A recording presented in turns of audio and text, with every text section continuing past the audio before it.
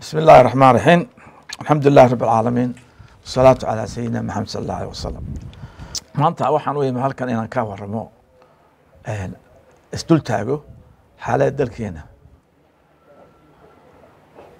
dibadda iyo gudahaba marka hore hambalyeynaya xildhibaanada ingiriiska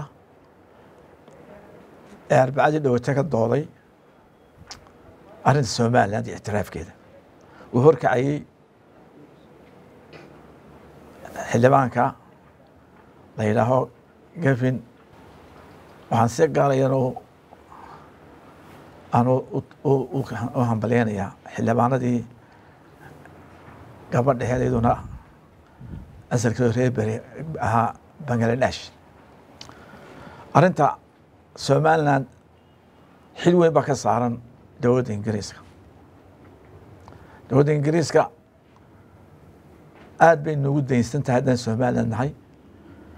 Dagaalkii labaad iyo kii koowaadba waan kula qayb galnay.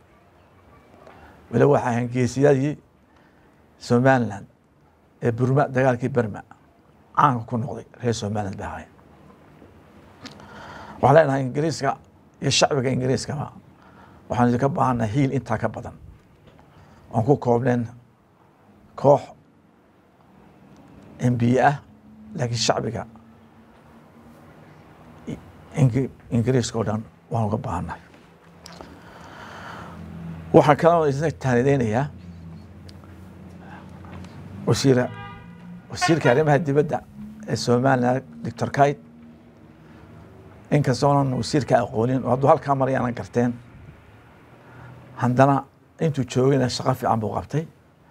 Shalayna kelmad fiican buu ku hadlay markuu v o hadlayey tii aanu ku baaqinay ee haddaan soomaaliya lala hadal oo wax soomaali la yidhaah aanay jirin. Ay tahay failid state dowlad guul daraysatay. Haddana caan ku noqotay ta ugu musuqmaasuqda adduunka. Waa meel lagu cuno lacagta adduunka lagu cuno. Waa la yidhaha dowlad waxaan dhisinaa security iyo nation building wax la yidhaha. Taasna waxaan leeyahay kuwa imani maayaan soomaaliya leanna waxa weeye soomaaliya waxay kugu habrataa maanta ma jirto. Ixtiraam baynu siinay hawadii baynu siinay hawadii aynu isku haysanay ayaa wasiiradiina markaa joogay aqoon daraantooda ay ku wareejiyeen. Walaaladiya soomaaliya noogu dhiiba ay dhahay taas waxay ka markaati qacaysaa tayada shacbiga reer soomaaliya siyaasiyiintooda waxaan jeclahay inaan qoladan xaasidiinta ah walaweynta dee odhan xaasidiinba qaar baa inoo xaasidiin cadow ah kuwaas waxaan leeyahay kelmad quraan leeyaho ilaahay subxaana watacaala kufaarta wuxuu yidhi ku dhinta cadhadiina annaga waxaan leeyahay ku dhinta xaasidnimadiina kuwa gudaha jooga inaga ka tirsan iyo kuwa shisheeyahaba. Xaasidka xaasidku waxba inaga qaadi maayo. Waxa daba weeye maalmahan waad arkaysaa ilaa maraykankii ilaa scholarskii ilaa jaraa'idkii waaweynaa somaliland carabkay ku hayaan wanaaggaa inoo soo socda iyo iftiinka inoo baxay waxay dowladda muuse ka shaqaysay ma ahae waa wax shacbiga reer somaliland ka shaqeeyeen amba dhiyaas barahaadeen amba doorashadii maalintii dhaweyta laba saxanbarsanaha ayaa hadda waxa weeye waxaan isku mid ahayn sumcaddeena dibadda maanta joogta iyo gudaheena maanta suu yahay. Anigu ma geliyo oo si fiican buu sabti uga waramay ballanqaadadii sameeyey muuse uu kaga baxay ummadda somaliland laakiin waxaan sheegayaa maanta dalkeenu uu kala daadsan yahay. Inta afartaas sane muuse fadhiyey dalka wax horumar u keenay waxaan ahayn niyad jab kala qaybin qabyaalad maayo wax kale ma jirto. Maantana wuxuu wadaa muuse tii ugu xumeed dalkeena ka dhacday. Muuse biixi afar iyo sagaashankii isagoo wasiirka daakhiliha ayaan la soo hadlay. Waxaan yidhi muusow dagaalkaa la garaaciyo. Ayaanu dagaal ka dhicin hargeysa. Finland baan kala soo hadlay. Magaa telefoonna ma jirin boostaan tegey. Muu yeelina waa kii dagaalkii weeraray isagoon ogeyn madaxweynaha cigaal ilah u naxariistay. Shan boqol oo markaa uu ciidameeyey ayuu isku haleynayey wixii ka dhacay dalka waa la ogaa dalka ka dhacay waa la ogaa. Dalkuna muu degin ilaa madaxweynaha ilaahda cigaal uu ka qaaday wasiirkii. Muuse wuxuu noqday guddoomiyihii xusbiga kulmiye. Kun sagaal boqol iyo laba kun iyo lix iyo tobankii waxaan muuse ka barinay. War abaar baa jirtay abaar abaar baa jirta waad aragta baa xoolihii bariga ayaa galbeedka baalo lagu wadee aan sanad dib u dhigno doorashada. Komishinka xafiiskiisaan isku qabsanay waxaan ku yidhi muusow weligaa laba jeer baad timi talada dalka. Mid afar iyo sagaashankii bahed dagaal baad riday maantana guddoomiyaad noqotay.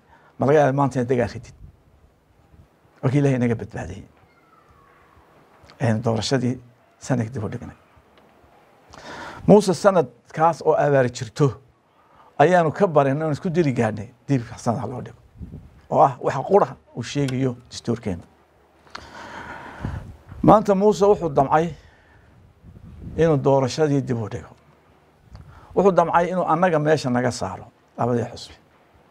Wuxuu muuse damcsan yahay inuu laba xusbo yare soo saarto uu la tartamuu ka helo. Aanu kursiga ka degin ilaa intu ku dhimanayo. Horta muuse taa kaa yeeli mayno kaa yeeli mayno waxaanu kaaga yeeleen de dalka waa la wada leeyahay. Dalka waa la wada leeyahay. Shahaadad baanu haysanaa toban sanaa tobankaa sana waxa lanoo siiyeen laba jeer u oradno. Warqad baa soo qortay. Xeerkaasi waa xeer ka soo horjeedista horkaa tiri. Baarlamaanka u yaallaa. Baarlamaanka arrintaa u dhaaf baan ku leenay ragga aad soo dirdiraysid ee ku hadlaya ee sharita u dambeeye kuwii hadlayay ana u jawaabi maayo dee waan aqaanaa. Qiimahooda iyo waxaan aqaanaa iyo caqligooda aqaanaa. Laakiin aadan kula hadlaya ada wax naga dhexeeyaan. Shacabka soomaalida waxaan leeyahay yaan maanta nabad baan dugsanaynay nabad yaan dugsanaynay oo aynu ilaahay ku sugnay farjala qariib aan lahayn yaan muuse nabadda ka ciyaarin doorashadaas inay waktigeeda ka dhacdo ma ogolaanino. Waxaan adigu geyin annaguna ma geyno. Distoorka in la jebiyana ma ogolin. Ururada waktigii ay baarlamaanku cayimo isoo raacaya two thousand eleven xeerka ah ayaan ku kalsoonahay arrintuna waxay u taallaa baarlamaanka somaliland ba u taallaa waa la laalay. Xeerkii musuqmaasuqa ahaa ee isku jebiska ahaa ee isku dirka ahaa ee waa la laalay kaa ayaa lagu shaqeynaya muuse waxaan ku leeyahay waxaan kugula talinaya muuse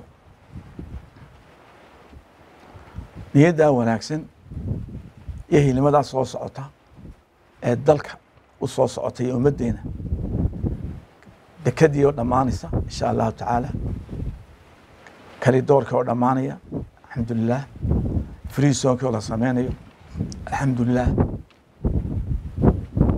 xafiisyo badan oo ka furiyo maalgash badan oo soo socda. Ha ka horgeynin wanaaggaa soo socda. Muraadkaaga shaksi oon meel mar ahayn. Waxaa magaca kugu filan inaad doorashooyinkii qabatay. Waxaa magaca kugu filan? Si aad uga soo horjeeday maalintii cigaal kordhinayey si aad uga soo jeeday maalintii siryaal jordinayey si aad uga soo jeeday maalintan kulaha ka da abaar baa jirtee kordhiska diidaysay. Anigu ma ogolin joog baan ku leeyahay. Waxaan kugula talinayaa. Waa talo. Ilaahay og subxaana wa tacaala ka heli doona ilaahay og ina gaari doonaba subxaana wa inaad gaari inaan gaari ilahay og ummadda masaakiinta ee aad ka qufushay adduunkii een dhaqaale haysan. Nabadgelyo qura ku naalado ka daabaan ku leenay berita way noo imanayaan. Dadkii naga caawin jiray dhaqaalaha. Naga caawin jiray doorashooyinka. Bisha kowdeydii disembar iyagoo faraxsan oon isku afna bay naga tegeen.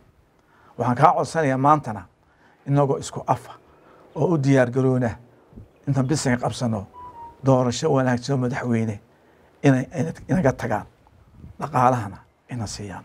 Ayaan ilaah ka barina. Waxaan kaa codsanayaa wada jir ayaynu dalkan wax ku noqon karnaa. Wada jir ayaan ixtiraaf ku heli karnaa. De wada jir ayaan nabadgelyo ku ilaan karnaa. Wada jirkii iyo waxaan ku soo caanamay ha ka tegin. Ayaan ku leeyahay. Waxaan ku leeyahay muuso nasiib baad leedahay maanta waa lagu doortay waana ku taanideynay. Waxaa lanagu yidhi maya mucaarid ma jiro time baanu ku siinay. Haiska recordka haiska xumeen. Tii maalinteed oota dhacdayna adaa adaa sharafteeda leh. Sharaf maantana sharafta kana ku darsan ku leh. Waxaan wax ku noqon karnaa inagoo dalkeenu socdo. Ayaan ku noqon karnaa waxaan aad iyo aad u cambaareynayana fararkan soo baxay maalmihii dambe. Ee la leeyahay dhalinyaraa dadka qafaalanaysa dadkii social mediaka waa la ugaarsanaya. Hadday dhalinyartu isku muuqato oy baastolo isku qaadato nabadgelyada waa xumaanaysa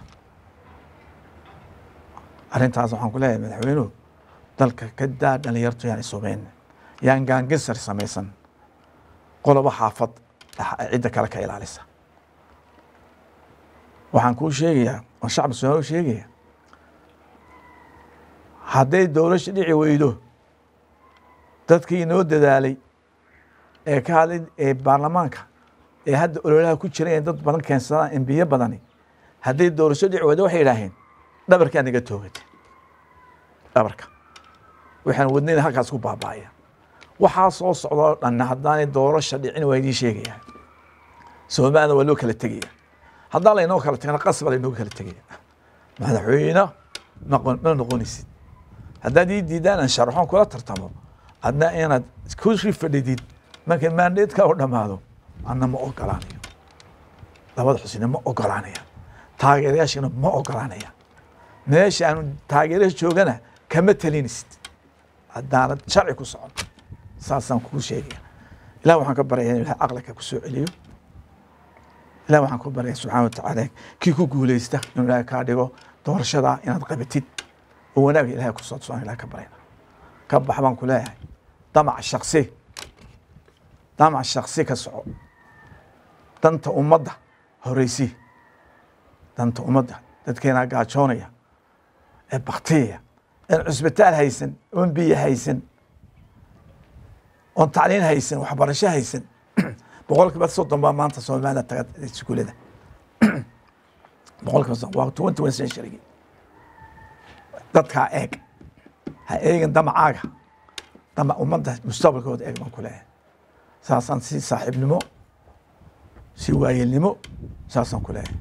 Doorashada qabo iyo faraxsanay naga tageen. Dadkaa inoo imanaya gamcaan isqabsano.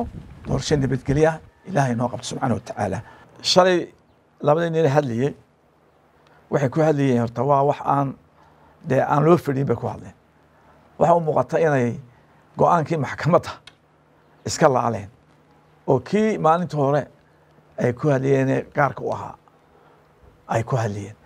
Marka aanu ku xukumayna maadaama madaxweyne official waxood ka haynin ku xukumi mayn laakiin shacbiga waxaan u sheegaynaa waxay labada nin shalay ku hadlayeen iska daba hadleen inay tahay wax go'aankii ka baxsan maxkamadda sare ay soo saartay. Ay ogolaadeen. Ee anaguna aan ogolaanay badankeeda inay ka baxeen ayaa horta halkaa ka muujinaysa.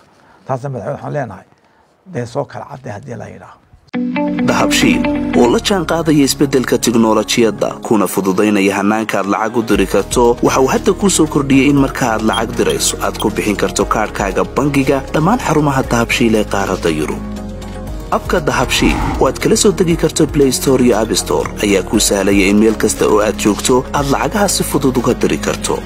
Sidoo kale websayteka dahabshiil ayaad si fudud lacag uga dhex diri kartaa goob kasta iyo goor kasta. Lacag kasta oo aad dirto waxa uu qofkaad lacagta u dirtay sikima gudahoodu ku helayaa adeegga iidahab ee moobilkiisa gacanta. Waxaa loogu shubi karaa akoonkiisa bangiga dahabshiil amaba waxa uu ka qaadan karaa dhammaan ballaamaha dahabshiil ee dunida dacaladeeda dahabshiil حول فضيديها جمال يديد.